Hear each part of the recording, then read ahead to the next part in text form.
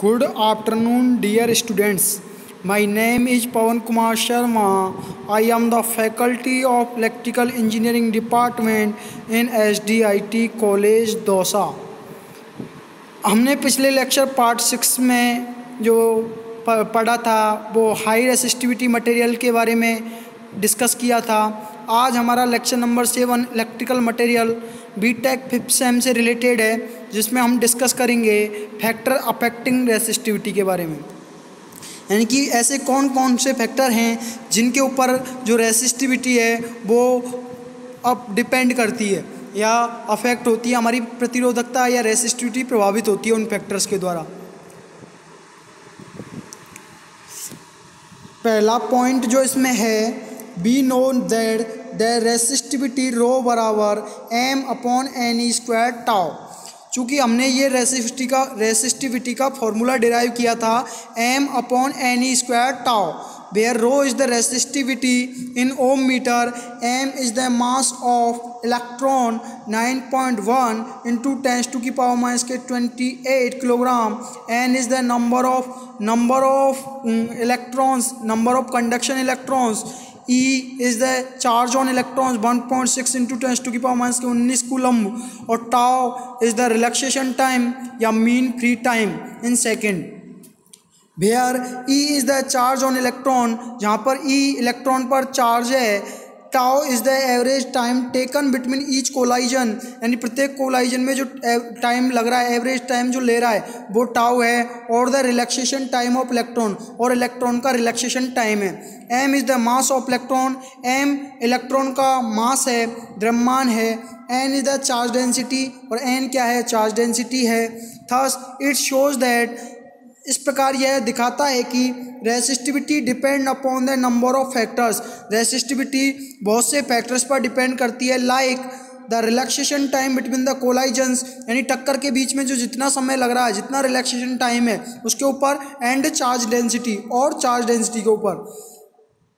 From the above सेक्रिनियोज इन सेक्रिनियोज के आधार पर from the above सेक्रिनियोज it is clear that From the above synchronous, it is clear that when the temperature is increased in इस equation से ये clear हो गया कि जब हम टेम्परेचर को बढ़ाते हैं तो average speed of electrons increase है। तो इलेक्ट्रॉन्स की जो एवरेज स्पीड है वो भी इंक्रीज होती है।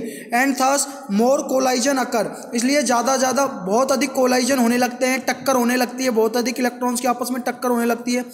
यानी कि जब टेम्परेचर को बढ़ाते हैं तो एवरेज स्पीड इलेक्ट्रॉन की इंक्रीज होती है, जिससे कोलाइजन्स हैं, वो इंक्रीज होने लगते हैं, बढ़ने लगते हैं, ज़्यादा से ज़्यादा कोलाइजन होने लगते हैं। Thus the relaxation time between each collision decreases इसलिए प्रत्येक कोलाइजन के बीच में जो रिलैक्सेशन टाइम है, प्रत्येक कोलाइजन का जो रिलैक्सेशन टाइम है टाइम बिटवीन ईच कोलाइजन प्रत्येक कोलाइजन के बीच में जो टाइम है, वो क्या होने लगता है? डिक्रीज होने लगता है, कम होने लगता है। In case of metals metals के केस में the charge density does not depend on temperature to a certain extent यानी चार्ज डेंसिटी एक निश्चित मात्रा तक टेम्परेचर के ऊपर डिपेंड नहीं करती है।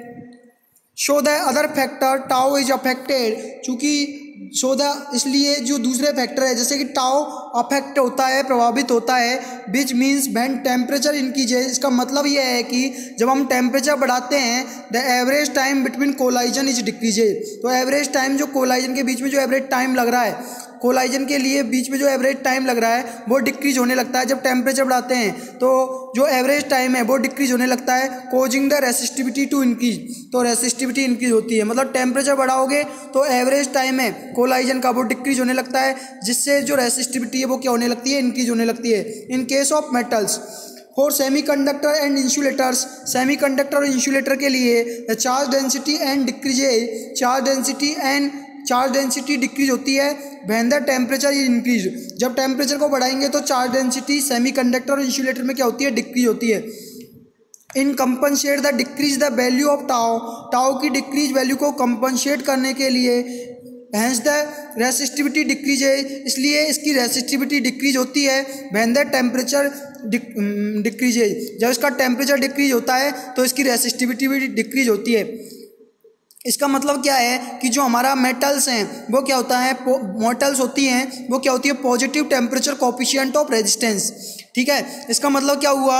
यदि टेम्परेचर को बढ़ाओगे तो रेजिस्टेंस की वैल्यू क्या इंक्रीज होगी? तो temperature coefficient of resistivity resistivity यानी कि रेजिस्टेंस को बढ़ाएँगे तो आर की वैल्यू इंक्रीज होगी रो ज़ीरो बराबर इसमें जो एक जो मेटल्स की हम बात कर रहे हैं तो इसमें क्या होगा, ये पॉजिटिव टेम्परेचर कॉपिशेंट है ऑफ़ रेजिस्टेंस मतलब रेजिस्टेंस टेम्परेचर बढ़ाओगे तो रेसिस्टिविटी भी क्या होगी इंक्रीज होगी. इसी तरीके से सेमीकंडक्टर और जो इंसुलेटर्स हैं, वो क्या होते हैं negative temperature coefficient of resistance तो इसका मतलब क्या हुआ टेम्परेचर को बढ़ाओगे तो रेसिस्टिविटी की वैल्यू क्या होने लगेगी, कम होने लगेगी. The resistivity of a material varies with temperature कोई भी मटेरियल की जो रेसिस्टिविटी है, वो टेम्परेचर के साथ वेरी करती है। Whereas it decrease with increase in temperature for electrolytes and semiconductor electrolytes और सेमीकंडक्टर के लिए जब टेम्परेचर बढ़ाते हैं तो रेसिस्टिविटी की वैल्यू क्या होने लगती है? डिक्रीज होने लगती है। इसका मतलब क्या है कि जो इलेक्ट्रोलाइट्स और सेमीकंडक्टर्स हैं, वो नेगेटिव टेम्परेचर कॉपिशियंट हैं। मतलब टेम्परेचर बढ़ाते हैं तो रेसिस्टिविटी की वैल्यू डिक्रीज होने लगती है। जबकि मेटल्स हैं, वो क्या होती हैं? Positive temperature coefficient of resistance होते हैं। मतलब इसमें क्या होता है? यदि हम टेम्परेचर को बढ़ाएँगे तो रेजिस्टिविटी की वैल्यू मेटल्स के केस में इंक्रीज होती है। अब पहला है effect of temperature the resistivity of a material varies with temperature कोई भी मटेरियल की जो रेसिस्टिविटी है, वो टेम्परेचर के साथ वेरी करती है. In case of metals metals के केस में it increase with increase of temperature जैसे जैसे टेम्परेचर बढ़ाएँगे तो मेटल्स के केस में रेसिस्टिविटी भी इंक्रीज होने इंक्रीज होती है. Whereas it decrease with increase in temperature for electrolytes and semiconductor लेकिन इलेक्ट्रोलाइट्स और सेमीकंडक्टर के केस में जब टेम्परेचर बढ़ाएँगे तो रेसिस्टिविटी क्या होने लगती है? डिक्रीज होने लगती है। Many metals have vanishing resistivity at zero degree of temperature अब है, ये जो temperature dependence of resistivity of metals एक ग्राफ प्लॉट किया गया है रेसिस्टिविटी और टेम्परेचर के बीच में। यहाँ पर रेसिस्टिविटी है और ये टेम्परेचर को डिनोट कर रहा है जो कैलविन में है। रेसिस्टिविटी रो टेन की पावर माइनस के एट ओम मीटर एक ग्राफ प्लॉट किया गया है। ये ग्राफ क्या दर्शा रहा है कि जैसे जैसे हम टेम्परेचर बढ़ा रहे हैं, वैसे वैसे रेसिस्टि रेसिस्टिविटी की वैल्यू क्या होने लग होती है, बढ़ती रहती है। In case of metals metals के केस में क्या हो रहा है, जैसे जैसे हम टेम्परेचर बढ़ाएँगे, वैसे वैसे रेसिस्टिविटी रो की वैल्यू भी क्या होती है इंक्रीज होती है। In case of metals, this graph showing that when the temperature increase, in case of metals then the resistivity will also increase in case of metals ये है अगला है जो ग्राफ प्लॉट किया गया है रेसिस्टिविटी और टेम्परेचर के बीच में। वो टेम्परेचर को कैलविन में लिया है रेसिस्टिविटी रो टेंस टू की पावर माइनस के एट ओम मीटर है। जो यहाँ पे क्या हो रहा है, जैसे जैसे हम टेम्परेचर बढ़ाते हैं, वैसे वैसे रेसिस्टिविटी की वैल्यू क्या होने लगती है? कम होने लगती है। टेम्परेचर बढ़ाते जा रहे हैं तो रेसिस्टिविटी क्या होने लग रही है? कम होने लग रही है। This graph showing that when the temperature increases this point then resistivity is, is this when the temperature is increased this point then the resistivity will also decrease this is ये मतलब जो हमारा जो ये पॉइंट जिस point पर हमने ये टेम्परेचर हमारा मान लो ये 250 केल्विन है तो इस वाले टेम्परेचर पर रेसिस्टिविटी की वैल्यू क्या है ये है तो temperature dependence of resistivity of semiconductor के लिए ग्राफ प्लॉट किया गया है अगला है the change in resistance of material the change in resistance of a material per ohm per degree change in temperature is called temperature coefficient of resistance the change in resistance of a material per ohm per degree change in temperature यानी कि जो material के resistance में जो change हो रहा है कब जब टेम्परेचर में पर डिग्री का हम चेंज कर रहे हैं। तो उस टाइम पे जो रेजिस्टेंस है, वो मटेरियल का, वो पर ओम पर डिग्री जितना चेंज हो रहा है is called temperature coefficient of resistance उसे रेजिस्टेंस का टेम्परेचर कॉपिशियंट या तापमान गुणांक हम कहते हैं। The average the change in resistance of a material per ohm per degree change in temperature is called temperature coefficient of resistance The change in value of resistance del R is the proportional to the change in temperature is given by यानी कि जो resist जो value resistance की जो value change हो रही है del R del किसको डिनोट कर रहा है? जो रेजिस्टेंस में जो चेंजेज हो रहे हैं, उनको डिनोट कर रहा है डेल के द्वारा डिनोट किया गया है। Change in value of resistance del R यानी रेजिस्टेंस में जो चेंजेज हो रहे हैं डेल आर के is proportional to change in temperature वो डायरेक्टली प्रपोर्शनल किसके है? टेम्परेचर के है, इस गिवन बाई वो निम्नलिखित सूत्र के द्वारा दी जाती है। तो डेल आर बराबर क्या हो जाएगा? आर टी वन माइनस के R T zero this is directly proportional to T one R zero this is the equation number one del R बराबर आर टी वन माइनस के R zero is directly proportional to T one R zero this is the equation number one तो R then R T one minus के R zero is directly proportional to T one R zero this is the equation number two अब हम proportionality के sign को हटाएँगे तो एक proportionality constant आएगा। तो आर टी वन माइनस के R zero alpha is the proportionality constant it is called temperature coefficient temperature coefficient R T one minus के आर ज़ीरो बराबर alpha T one R zero यानी proportionality के sign को हटाया तो एक proportionality constant आया, जिसका नाम है एल्फा जिसे हम टेम्परेचर कॉपिशियंट बोलते हैं। हैं। तो आर टी वन बराबर क्या आ जाएगा?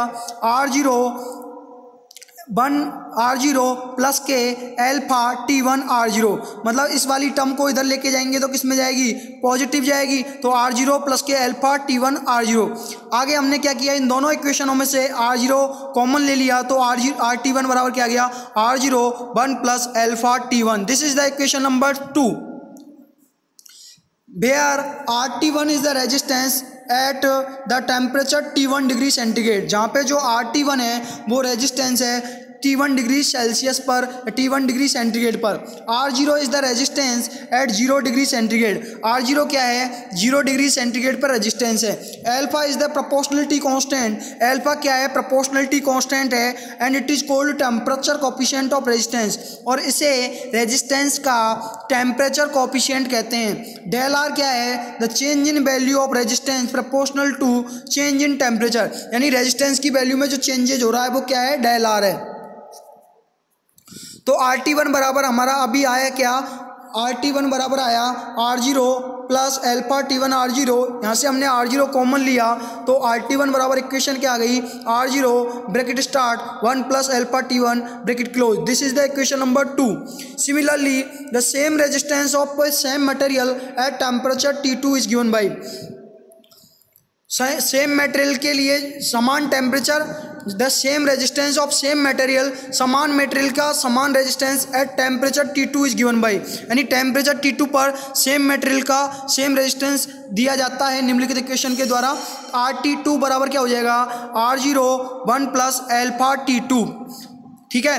तो यहाँ पे जो हमारा जो समान रेजिस्टेंस समान मटेरियल का समान रेजिस्टेंस टेम्परेचर टी टू पर निम्न इक्वेशन के द्वारा दिया जाता है। आर टी टू बराबर R zero one plus alpha T two this is the equation number three now equation three divide by equation two तो इक्वेशन थ्री को डिवाइड करना है इक्वेशन टू से तो R T two upon T one R T one बराबर R zero one plus alpha T two upon R zero one plus alpha T one यहाँ से R zero से R zero cancel out हुआ तो नीचे क्या बच गया? R T two upon R T one बराबर one plus alpha T two upon one plus alpha T one अब इस वाली इक्वेशन में हम क्या करेंगे? प्लस के एल्फा टी वन और को ऐड करेंगे और माइनस के अल्फ़ा टी वन से इसे सब्सट्रैक्ट करेंगे। मतलब न्यूमेरेटर वाले पार्ट को हम न्यूमेरेटर न्यूमेरेटर वाले पार्ट में हम क्या करेंगे? यानी अंश वाले पार्ट में प्लस के अल्फ़ा टी वन को ऐड करेंगे और माइनस के अल्फ़ा टी वन से इसे सब्सट्रैक्ट भी करेंगे। तो हमने ऐसा किया है। One plus alpha T two जो कि त्यों माइनस का एल्फा टी वन मतलब सब्सट्रैक्ट कर दिया प्लस के एल्फा टी वन इसमें ऐड कर दिया upon one plus alpha T one अब इसको अलग अलग कर लिया हमने तो क्या आ जाएगा R T two upon R T one बराबर one plus alpha T one one plus alpha T one upon one plus alpha T one plus के, इन दोनों टर्म्स में से एल्फा कॉमन ले लिया तो क्या बच जाएगा टी टू माइनस के T one upon one plus alpha T one तो R T two upon R T one बराबर क्या आया? ये वाली टर्म कैंसिल आउट हुई तो यहाँ पे क्या आ गया? One plus alpha T two minus के T one upon one plus alpha T one तो this is the equation number four R T two upon R T one बराबर one plus alpha T two minus के T one upon one plus alpha T one तो R T two बराबर क्या आ जाएगा? R T one into bracket start one plus alpha T two minus के T one upon one plus alpha T one bracket close this is the equation number five Thus, the value of resistance at any temperature T2 can be calculated. इस प्रकार कोई भी temperature T2 पर हम resistance की value calculate कर सकते हैं। If the resistance at T1 temperature is known यदि हमें T1 टेम्परेचर पर रेजिस्टेंस हमें पता है तो कोई भी टेम्परेचर T2 पर हम रेजिस्टेंस की वैल्यू फाइंड आउट कर सकते हैं। अगला है इफ़ेक्ट ऑफ़ अलोइंग यानी अलॉय का क्या प्रभाव पड़ता है? अलॉय मतलब मिश्र धातु। Because of addition of impurity in pure metal crystal मतलब कोई ऐसा क्रिस्टल है जिसमें प्योर मेटल्स के मेटल है प्योर मेटल से बना हुआ क्रिस्टल है, यदि उसमें इम्प्योरिटी को ऐड कर रहे हैं because of addition of impurity in pure metal crystal pure metal crystal में इम्प्योरिटी को ऐड करने के साथ द लेटिस बिकम इरेगुलर तो लेटिस की संरचना क्या हो जाती है? इरेगुलर हो जाती है। मतलब वो जो पहले जो एक एक एक निश्चित डायरेक्शन में जो इलेक्ट्रॉन्स मूव कर रहे थे, वो रैंडमली मूव करने लगते हैं इसमें। मतलब इसमें यदि हम इम्प्योरिटी ऐड की ऐड करेंगे क्रिस्टल में thus the scattering of electron increase तो इससे क्या होता है इलेक्ट्रॉन्स की स्कैटरिंग या फैलाव बढ़ने लगता है। This decrease the mobility of electron या इलेक्ट्रॉन की मोबिलिटी को कम कर देता है and then mean free time and hence the conductivity तो इससे सापेक्ष मीन फ्री टाइम और conductivity we can say resistivity of a well ordered solid is lower than equivalent random solid और हम ये कह सकते हैं कि सही तरीके से अरेंज किए हुए सॉलिड की जो रेसिस्टिविटी की वैल्यू है, वो इक्विलेंट रैंडम सॉलिड से कम होती है। और we can say resistivity of a well ordered solid is lower than equivalent random solid मतलब जो बेल ऑर्डर्ड सॉलिड की जो रेसिस्टिविटी है, वो इक्विलेंट रैंडम सॉलिड से कम होती है। At the same time alloying improve some properties यदि उसी समय यानी सेम टाइम सेम टाइम पर जो अलोइंग है मतलब मिश्र धातु जो हम उपयोग में ले रहे हैं इम्प्रूव सम प्रॉपर्टी कुछ प्रॉपर्टी को इम्प्रूव करता है। लाइक like, जैसे कि mechanical strength needed for certain application जैसे कि मैकेनिकल स्ट्रेंथ कुछ मैंने यांत्रिक सामर्थ्य कुछ एप्लीकेशन के लिए जिसकी हमें आवश्यकता पड़ती है। जैसे कि ये रेसिस्टिविटी और इम्प्योरिटी कंसंट्रेशन के बीच में ग्राफ प्लॉट किया गया है जिसमें रेसिस्टिविटी टेन की power seven ohm metre impurity concentration कितनी मिलानी है? यहाँ पे देखो ये वाला इस टाइम पे ये क्या है जो रेसिस्टिविटी मतलब इस टाइम पे जो ये मेटल है वो क्या है? प्योर है। इसके बाद में इसमें थोड़ी सी हमने क्या करी? थोड़ा सा हमने क्या किया? आ, कोई भी मटेरियल या कोई भी मेटल को ऐड कर दिया इसमें प्योर प्योर कोई भी मेटल है, उसमें कोई अदर मेटल को ऐड कर दिया तो थोड़ा ये इम्प्योर हो गई। इसके बाद में, इसके बाद में और भी थोड़ा मेटल को और ज़्यादा परसेंटेज में ऐड कर दिया तो ये मोर इम्प्योर हो गई। मतलब ये प्योर है मतलब शुद्ध है इस टाइम पे, ये इम्प्योर फिर मोर इम्प्योर यानी कि जो अशुद्धि, जो हम एडिशन कर रहे हैं इम्प्योरिटी ऐड कर रहे हैं, उतना ही जो मेटल है, वो इम्प्योर होती जाएगी।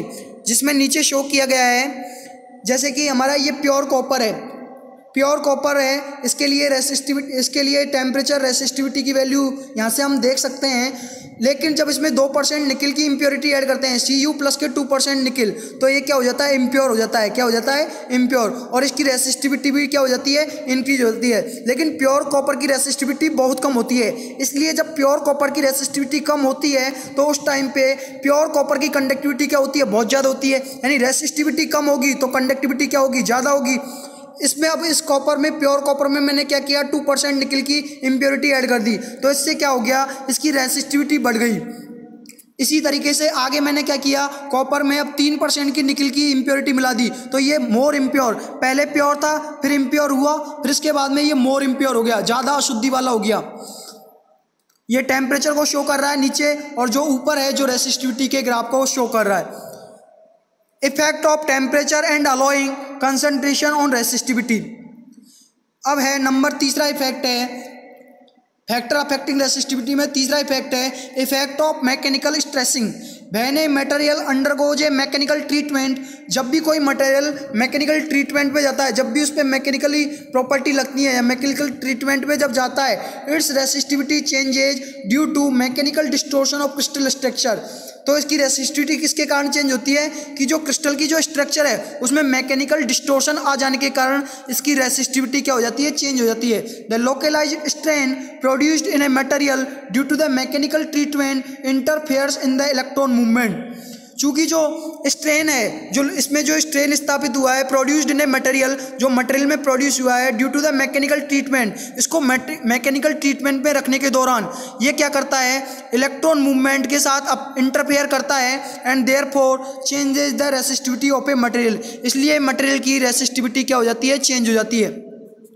Thus a hard drawn copper wire has a higher resistivity than the annealed copper इसलिए यदि कठोर कॉपर धातु की जो कपोर, कठोर कॉपर वायर कठोर कॉपर का तार है, उसकी रेसिस्टिविटी ज़्यादा होती है compare to annealed copper annealed copper की तुलना में। Thus hard drawn copper wire has a higher resistivity than the annealed copper the annealing restores the electrical conductivity by establishing greater regularity in crystal lattice annealing क्या करती है? दोबारा से दोबारा से इलेक्ट्रिक इलेक्ट्रिकल कंडक्टिविटी को रिस्टोर करती है। किसके द्वारा? Greater regularity in crystal lattice यानी कि क्रिस्टल लेटिस में ये अपनी रेगुलेटी एस्टाब्लिश करने के द्वारा ये अपनी जो एनिलिंग की प्रक्रिया है, इसमें इलेक्ट्रिकल कंडक्टिविटी को दोबारा से रिस्टोर करती है। अब हम न्यूमेरिकल देखते हैं। इलेक्ट्रिकल कंडक्टिविटी ऑफ़ मटेरियल की यूनिट के न्यूमेरिकल देखते हैं। The resistivity of copper is zero point fifteen micro ohm metre at 300 kelvin 300 kelvin पर जो कॉपर की रेसिस्टिविटी दे रखी है, वो कितनी दे रखी है? 0.15 micro ohm metre addition of each atomic percent of nickel and silver इसमें क्या किया गया है? Addition of each atomic percent of nickel and silver इसमें निकल और सिल्वर की कुछ एटॉमिक परसेंट ऐड की गई है.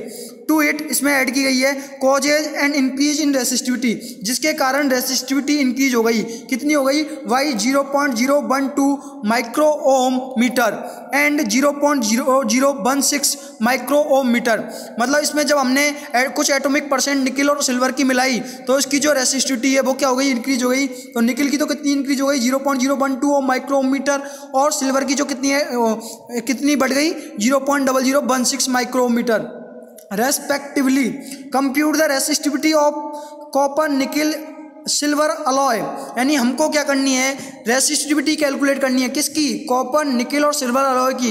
At 300 kelvin. 300 केल्विन पर कॉपर, निकल और सिल्वर के अलॉय की हमें रेसिस्टिविटी फाइंड आउट करनी है। वैन 0.025 एटॉमिक परसेंट ऑफ़ निकल। तो जब जब इसकी जो एटॉमिक परसेंट है निकल की, वो कितनी है? 0.025 है। And 0.40 atomic percent silver. जब इसमें 0.40 percent silver is added into the copper copper में ऐड किया गया है। तो देखते हैं, हमारा जो अलॉय बनाना है, हमें मिश्र धातु बनानी है, वो किसकी बनानी है? कॉपर निकल और सिल्वर की। हमें जो मिश्र धातु बनानी है अलॉय बनाना है, वो किसका बनाना है? Alloy of copper nickel silver तो रेसिस्टिविटी किसकी याद करनी है? कॉपर निकल सिल्वर के अलॉय की। तो रो कॉपर निकल सिल्वर तो रो सी यू यानी कॉपर की रेसिस्टिविटी प्लस के C one rho N I plus के C two rho N I where C one and C two denotes atomic percent यहाँ पे सी one और C two क्या है? एटॉमिक परसेंट जितनी हमने इसमें नि, निकल में मिलाई है और जितनी हमारी जो सिल्वर में हमने एटॉमिक परसेंट मिलाई है। रो सी की वैल्यू हमें क्वेश्चन में दे रखी है कॉपर की जो वैल्यू है वो कितनी है? देखो क्वेश्चन में देखो। कॉपर की जो वैल्यू है, वो ये दे रखी resistivity of copper is zero point पंद्रह माइक्रो ओम मीटर यानी कॉपर की हमें रेसिस्टिविटी दे रखी है, ये दे रखी ज़ीरो पॉइंट पंद्रह माइक्रो ओम मीटर तो कॉपर की रेसिस्टिविटी कितनी हो गई? ज़ीरो पॉइंट पंद्रह माइक्रो ओम मीटर तो इसको खोलेंगे तो कितना हो जाएगा? ज़ीरो पॉइंट पंद्रह माइक्रो का मतलब टेन की पावर माइनस के सिक्स ज़ीरो पॉइंट पंद्रह इंटू टेन की पावर माइनस के सिक्स ओम मीटर अब रो नी आई एन आई देखते हैं एंड निकिल की रेसिस्टिविटी कितनी है? तो निकिल की रेसिस्टिविटी हम देखते हैं क्वेश्चन से। तो क्वेश्चन से हम निकिल की रेसिस्टिविटी देखेंगे। तो निकिल की रेसिस्टिविटी दे रखी है क्वेश्चन में zero point zero one two micro ohm metre ये रही निकिल की resistivity zero point zero one two micro ohm metre तो निकल की रेसिस्टिविटी कितनी आ गई? Zero point zero one two micro ohm metre इसको हमने कन्वर्ट कर दिया तो zero point zero one two into ten की पावर माइनस के सिक्स ओम मीटर अब हम सिल्वर की रेसिस्टिविटी देखते हैं। तो सिल्वर की रेसिस्टिविटी कितनी है? सिल्वर की रेसिस्टिविटी देखेंगे तो कितनी दे रखी है? Zero point zero one six micro ohm metre कितनी दे रखी है? Zero point zero one six micro ohm metre ये है सिल्वर की रेसिस्टिविटी। कितनी रखी है? Zero point zero one six micro ohm metre इसको, माइक्रो को कन्वर्ट कर दिया ओम मीटर में तो zero point zero one six into tens to की पावर माइनस के सिक्स ओम मीटर अब अब जो एटॉमिक परसेंट कितनी मिला रहे हैं? ज़ीरो पॉइंट सी वन बराबर zero point zero five, zero two five atomic percent of nickel nickel की कितनी परसेंटेज मिला रहे हैं? वो हम देखते हैं क्वेश्चन से। ये क्वेश्चन में दे रखा है ban zero point zero two five atomic percent of nickel यानी निकिल में कितनी परसेंट मिला रहे हैं? एटॉमिक परसेंट कितनी मिला रहे हैं? Zero point zero two five और सिल्वर में कितनी एटॉमिक परसेंट मिला रहे हैं? Zero point four zero atomic percent silver की मिला रहे हैं इनटू द कॉपर कॉपर में ऐड कर रहे हैं। तो देखो सी वन की वैल्यू कितनी हो गई? कितना ऐड किया है हमने? निकिल में zero point zero two five atomic percent of nickel और सी टू क्या हो गया? Zero point four zero atomic percent of silver तो hence resistivity of copper nickel silver alloy इसलिए कॉपर निकिल और सिल्वर अलॉय की resistivity क्या होगी? Rho, C U, N I, A G, यानी कॉपर निकिल सिल्वर के अलॉय की resistivity देखते हैं। बराबर क्या हो जाएगा? रो, सी यू कॉपर की रेसिस्टिविटी रेसिस्टिविटी प्लस के C one atomic percent of nickel atomic percent of nickel into rho N I nickel की रेसिस्टिविटी प्लस के C two atomic percent of silver plus into rho A G मतलब silver की resistivity तो value put up कर दो। Value put up करेंगे rho C U की जगह वैल्यू रख दी zero point one five into tens to की पावर माइनस के सिक्स, सी वन की वैल्यू कितनी है? Zero point zero two five into, rho N I की वैल्यू कितनी है? Zero point zero one two into tens to की power minus की सिक्स, सी टू की वैल्यू कितनी है? ज़ीरो पॉइंट फोर्टी और रो ए जी, यानी सिल्वर सिल्वर की जो रेसिस्टिविटी है वो कितनी है? Zero point double zero one six. इनको जब हम हल करेंगे तो हल करने के बाद में हमारा क्या आएगा? ज़ीरो पॉइंट पंद्रह इंटू टेंस टू की पावर माइनस के सिक्स प्लस के इन दोनों को मल्टीप्लाई करेंगे तो कितना आएगा? Zero point triple zero three into tens to की पावर माइनस के सिक्स प्लस के इन दोनों को मल्टीप्लाई करेंगे तो कितना आएगा? Zero point triple zero six four into tens to की पावर माइनस के सिक्स यहाँ पे इंटू टेंस टू की पावर माइनस के सिक्स और है। अब क्या करेंगे? इन तीनों में से हमने क्या कर लिया? टेंस टू की पावर माइनस के सिक्स कॉमन ले लिया। यहाँ पे टेन टेंस टू की पावर माइनस के सिक्स नहीं लिखा गया है। इन टू टेंस टू की पावर माइनस के सिक्स और यहाँ पे। तो अब इन तीनों में से हमने क्या किया? टेंस टू की पावर माइनस के सिक्स कॉमन ले लिया। तो अंदर क्या बच गया? ज़ीरो पॉइंट पंद्रह प्लस के zero point triple zero three plus के zero point triple zero six four तो कितना आ गया? Zero point one five zero nine four into tens to की पावर माइनस के सिक्स तो rho, C, U, N, I, A, G, यानी copper, nickel, argon के अलॉय की रेसिस्टिविटी कितनी आ गई? One point five into tens to की पावर माइनस के सेवन ओम मीटर, या पंद्रह point zero into tens to की पावर माइनस के एट ओम मीटर। अगला क्वेश्चन है हमारा calculate the length of heater element heater element की लेंथ कैलकुलेट करो having zero point zero point four M M diameter जिसका डायामीटर कितना है? Zero point four M M है। To get a resistance of चालीस ohm जो चालीस ohm का रेजिस्टेंस प्राप्त करता है एंड एक हज़ार वाट और एक हज़ार वाट का ये क्या है? हीटर है. If nichrome wire of resistivity nichrome wire की रेसिस्टिविटी ये है, सौ इंटू टेंस टू की पावर माइनस के eight ohm metre is use copper wire की जो रेसिस्टिविटी है, वो one point seven two into tens to की पावर माइनस के eight ohm metre is use तो हमको सबसे पहले क्वेश्चन में जो दे रखा है, वो क्या है? डायमीटर दे रखा है। तो डायमीटर पर कितना दे रखा है? Zero point four M M तो इसको मीटर में कन्वर्ट करेंगे तो zero point four into tens to की पावर माइनस के थ्री मीटर रेडियस क्या हो जाएगी? डायमीटर अपॉन टू तो D by two D by two तो डी की वैल्यू कितनी है? Zero point four into tens to की पावर माइनस की थ्री अपॉन टू तो रेडियस कितनी आ गई? आर बराबर zero point two into tens to की पावर माइनस के थ्री मीटर रेजिस्टेंस हमारा जो दे रखा है, वो कितना दे रखा है? चालीस ओम दे रखा है. बी नो दैट जैसा कि हम जानते हैं आर बराबर रो एल अपॉन ए ये हमने फॉर्मूला पढ़ा है। तो यहाँ से एल की वैल्यू हम निकालेंगे तो क्या आ जाएगी? R A upon rho R A upon rho चूँकि एरिया बराबर क्या होता है? Pi R square for nichrome wire the length is given by तो नाइक्रोम के वायर के लिए लेंथ निकालेंगे तो एल बराबर क्या होगा? आर ए अपॉन रो तो आर की जगह तो चालीस रख दिया forty ohm into A A की जगह pi R square pi into R R की जगह कितनी वैल्यू आई थी? Zero point two into tens to की पावर माइनस थ्री का whole square upon A upon A तो एक की बात करेंगे तो यहाँ पे sorry R A upon rho rho की वैल्यू कितनी है यहाँ पे? सौ इंटू टेंस टू की पावर माइनस के एट किसके लिए? नाइक्रोम बायल के लिए रेसिस्टिविटी कितनी है? सौ इंटू टेंस टू की पावर माइनस के एट तो एल बराबर कितना आ जाएगा? फोर्टी इंटू पाई की जगह three point one four into zero point zero four zero point two का स्क्वायर खोलेंगे तो zero point zero four into ten की पावर माइनस के सिक्स इंटू नीचे सौ है, इसको ऊपर लेके जाऊँगा तो किसमें जाएगा? 咳 टेन की पावर माइनस के एट को ऊपर लेके जाऊँगा तो किसमें जाएगा? टेन की पावर एट में जाएगा अपॉन सौ। अब देखो एल बराबर कितना आ गया? Forty into three point one four into zero point zero four into tens to की पावर माइनस के सिक्स इंटू टेंस टू की पावर एट नीचे टेन की पावर टू है, इसको ऊपर लेके जाऊँगा तो टेन की पावर माइनस के टू में जाएगा। माइनस के सिक्स और माइनस के टू टेन की पावर माइनस के एट हो गए। टेन की पावर माइनस के एट और टेन की पावर एट दोनों आपस में कैंसिल आउट हो गए तो एल बराबर क्या आ जाएगा? चालीस into three point one four into zero point four तो लेंथ कितनी आ गई? नाइक्रोम वायर की five point zero two four metre अब कॉपर वायर के लिए लेंथ निकालेंगे तो कॉपर वायर के लिए लेंथ निकालने के लिए फॉर्मूला तो वही है।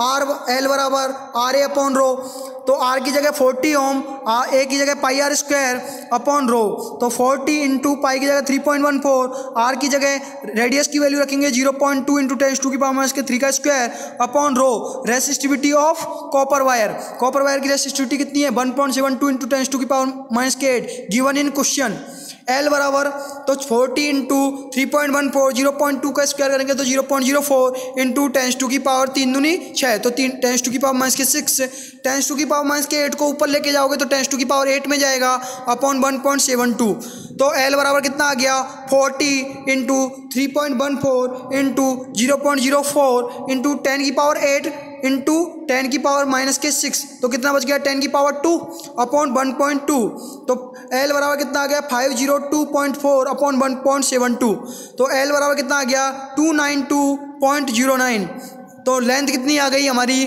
दो ऑलमोस्ट इक्वल टू दो सौ बानवे. Length is almost equal to दो सौ बानवे मीटर मतलब जो हमारे कॉपर वायर की जो लेंथ है, वो कितनी होगी? दो सौ बानवे metre thank you dear students thank you thank you dear students